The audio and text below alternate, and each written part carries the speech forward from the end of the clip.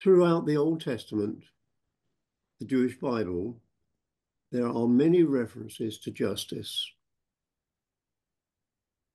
In Psalm 82, learn to do good, seek justice, correct oppression, bring justice to the faith fatherless, and plead the widow's cause.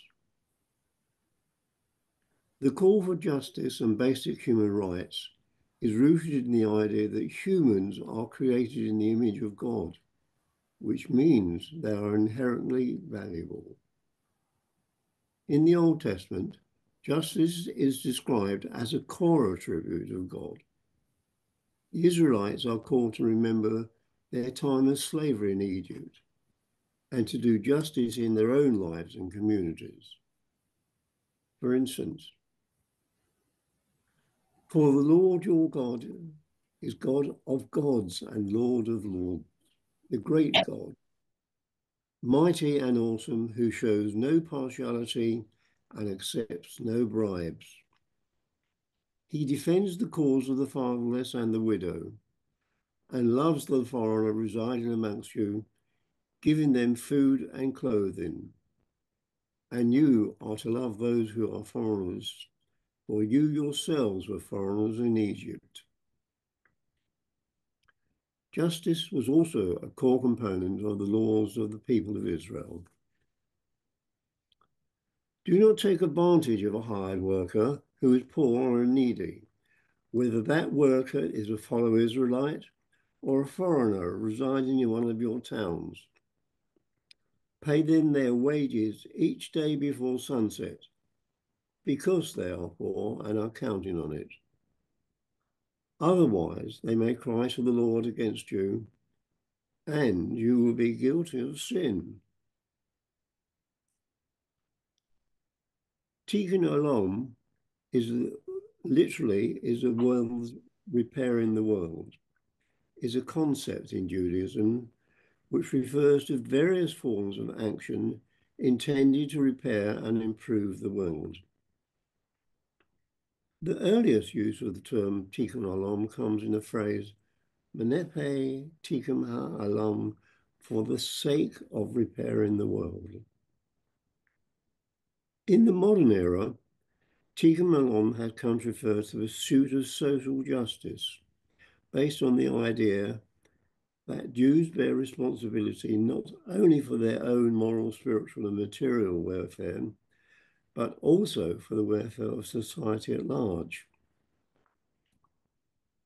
One who brought their field from a non Jew must bring home the first fruits from that field and give a reasonable share of that to the seller. Perhaps the call for justice is best expressed by the prophet Micah, who summarized the requirements of God into three points. He has shown you, O mortal, what is good. And what does the law require of you? To act justly and to love tenderly and to walk humbly with your God. Amongst modern liberal movements, a common but more modern understanding of this phrase is that we share a partnership with God and are instructed to take steps towards improving the state of the world and helping others, which simultaneously brings more honour to God's sovereignty. Over the course of Jewish intellectual history, is at times referred to eschatological concerns and at times to practical concerns. But in either context, it refers to some kind of change, social change, or process that is for the betterment of society or humanity or the world. Now, peace. In the Old Testament, shalom is more than the absence of conflict. It represents the ideal state God intended from creation. It's about completeness, health, prosperity, and harmony. This positive peace involved well-being and tranquility in relationships between people, nations, and God. The following well-known words, set beautifully by John Rutter amongst many, actually comes from the book of Numbers. The Lord bless you and keep you. The Lord make his face shine upon you and be gracious to you. The Lord lift up his countenance upon you and give you peace. Peace comes from trusting God, obeying his commands, and having a good relationship with him. Verses like Isaiah 26 3 and Exodus 14 14 show this. Not having peace is a sign of disobeying God and leads to bad things like war, suffering, and being apart from God. For peace, we should trust God, follow his ways, stand out for our for what's right. And remember, peace comes from God, not our situations. God wants to bless his people with peace. Sadly, verses like the following can be taken as triumphalism for the Jewish people alone. I will give you peace in the land, and you shall lie down, and none will make you afraid. I will rid the land of evil beasts, and the sword will not go through your land.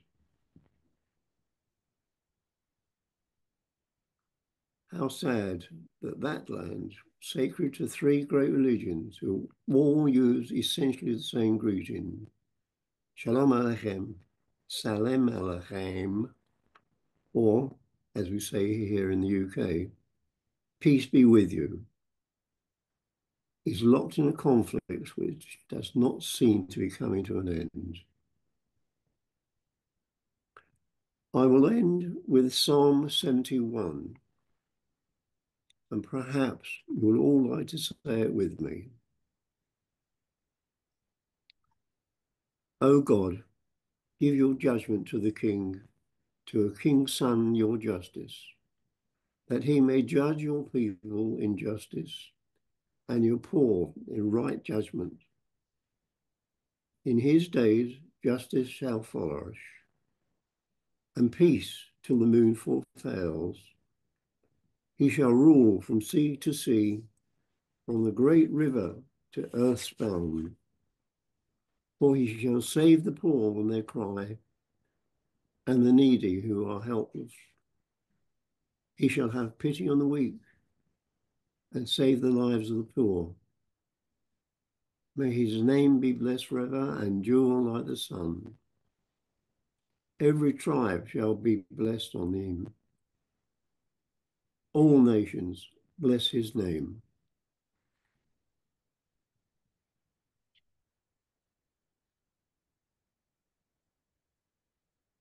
Blessed be he. Thank you so much, Brian. Blessed be you for getting up so quickly. Don't get old.